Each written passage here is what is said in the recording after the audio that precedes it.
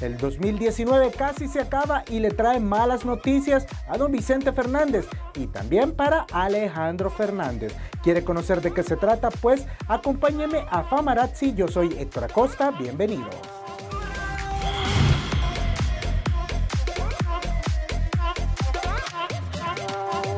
25 años han pasado desde la publicación de All I Want for Christmas Is You de Mariah Carey. Esta canción ha llegado por fin a la número 1, dándole su hit número 19 al artista.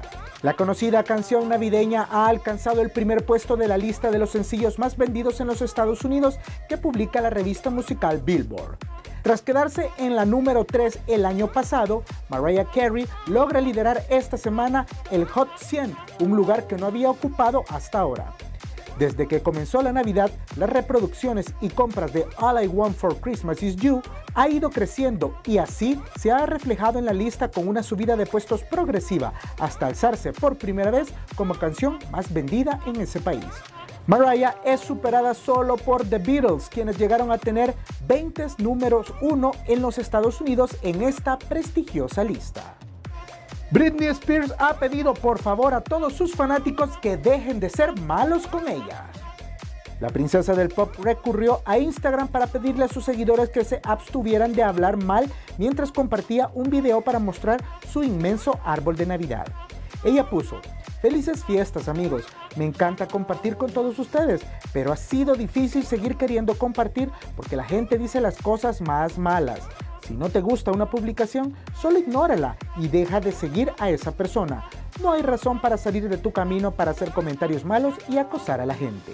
En el video se puede ver a Britney posando, girando, bailando de una manera algo rara. Recordemos que ella todavía sigue en tratamiento por sus crisis nerviosas.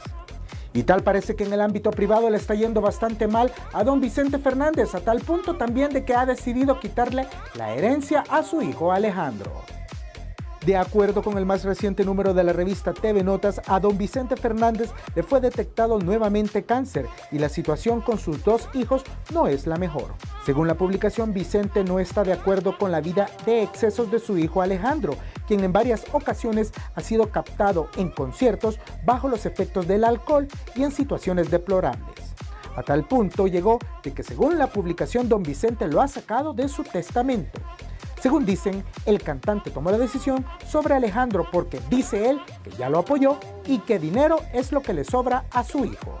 Como vemos, hasta en las mejores familias y famosas hay problemas.